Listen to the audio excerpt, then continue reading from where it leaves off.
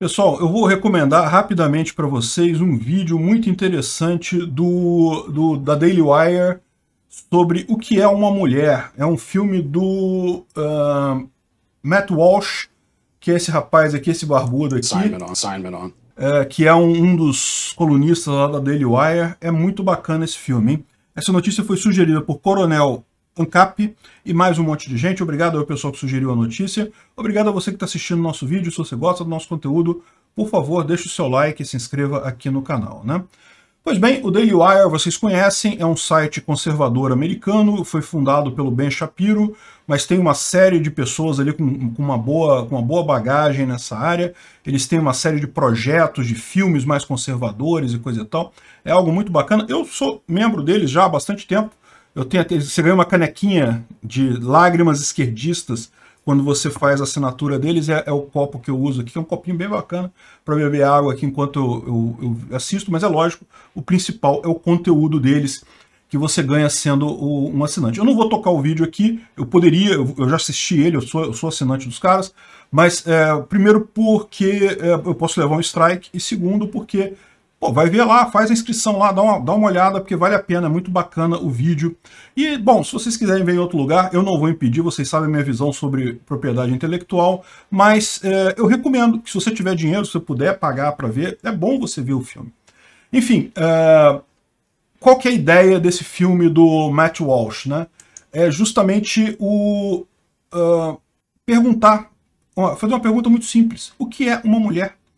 A gente tem sido bombardeado por informações sobre identidade de gênero, sobre o fato de que qualquer pessoa pode ser qualquer coisa, e você pode se identificar como que você quiser e coisa e tal, que é tudo uma questão de, de você escolher o que você quer, coisa e tal. E aí ele começa a desmascarar a ideologia que tem por trás disso com essa pergunta muito simples. Afinal, o que, que é uma mulher, né, no final das contas? Né?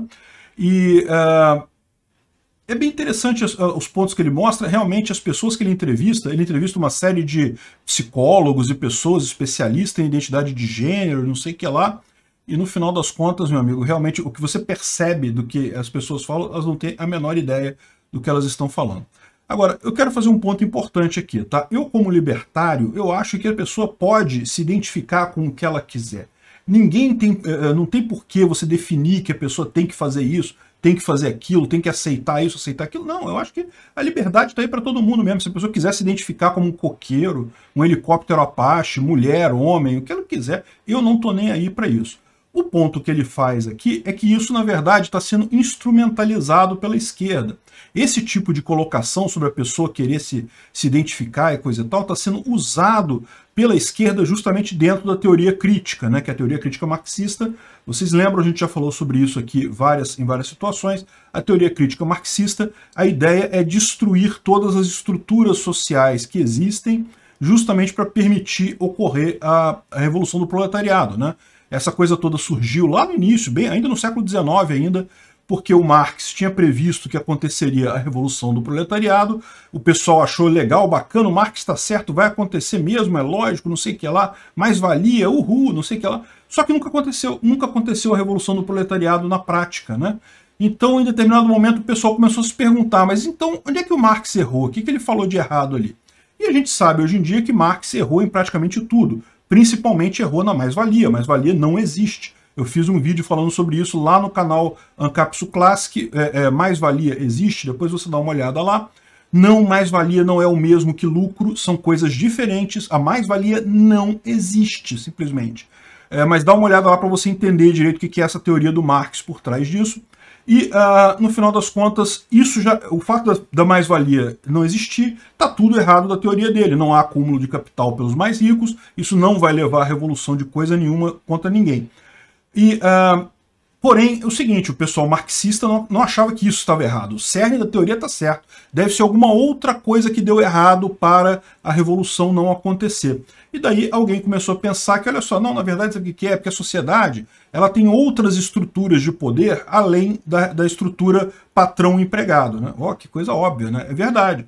É, tem a igreja, tem a família, tem o Estado, tem um monte de outras estruturas de poder que não tem nada a ver com a relação entre patrões e empregados. E aí, na visão dessas pessoas, essas outras estruturas de poder evitavam que a, a, a revolução acontecesse. As pessoas elas estavam presas nessas outras relações de poder também. Elas tinham a, vida na igreja, elas tinham o time de futebol de várzea que elas brincavam. Tem um monte de outras estruturas de, de, eh, de interação social que a pessoa participa que impedia que ela fizesse a revolução do proletariado que o Marx queria.